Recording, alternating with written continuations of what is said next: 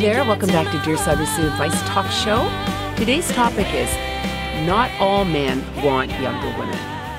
Now, this is a very, very common conversation that I have when I go out just about anywhere. The minute everybody knows what I do, where I do relationships and dating, that's the first thing that women talk about. And the first thing that men say is that women are high maintenance and they only want a man with a big fat wallet. So these are two conversations that are destroying dating today because people have got it stuck in their minds that that's all men want, that's all women want. So what's happening? People aren't dating. They're not well, if they do, they date one one time and then that's it. They don't see the person again because they think, oh, they just want younger women. They they want money. They want this. They want that. Everybody's got this negative sort of attitude about what is going on out there. But what's really going on out there is a lot of people are becoming a little insecure about dating. They're almost looking for an excuse to sabotage something from happening. And I don't know what's going on here, why this has become such a big problem.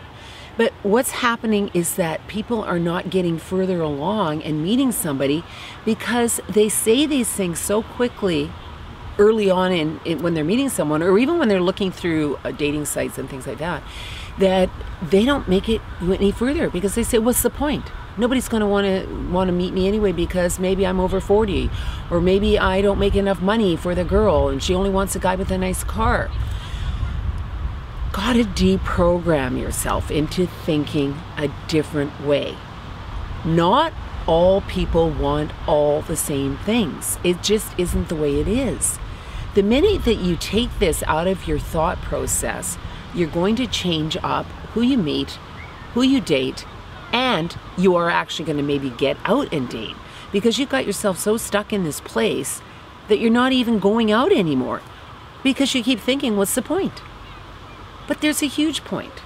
There's a big point in going out and dating because every time you date, you come back, whether it worked out or, or didn't work out, you've got a new experience under your belt, okay? I don't mean literally under your belt, but you've got a new experience that you dealt with. Now, that could bring you closer to meeting somebody of a better sort of situation. Maybe you found out what you didn't really want to want, or maybe it taught you something about what to look for more on the dating site, reading a profile better, reading out those red flags, all these things that add up to understanding what dating's all about. So I really want you to promise me that the next time those words come out of your mouth, I'm talking men and women here, that you stop yourself. Because when you stop saying those things, I promise you your dating life is going to get better. Because you're going to think on a different level that why can't I meet somebody that's great? How many I mean, I can't I can't tell you how many guys I know that are, you know, 40 and 50 and up that don't want to meet a younger woman, but they want to meet somebody that's got energy. They want to meet somebody who likes doing things, likes going out. And that's all you have to do. And and same for women. They don't not all women that want a guy with money. I mean, obviously money makes the world go round in a lot of people's eh, mindsets, but it's not all they want. They want a, a person that treats them well. They want somebody to love them and they want to love somebody back. So change up these prehistoric freaking dinosaur ways of thinking and let's start putting ourselves out there in a way better light. Promise me you'll do that because it's driving me crazy. It's one of the things I get most on all my advice columns is everybody talking about what's not happening. Let's start getting something to happen. Okay, I'm done. Thanks everyone for tuning in to Dear Sybersue. Please subscribe to my YouTube channel. Leave your comments below this video.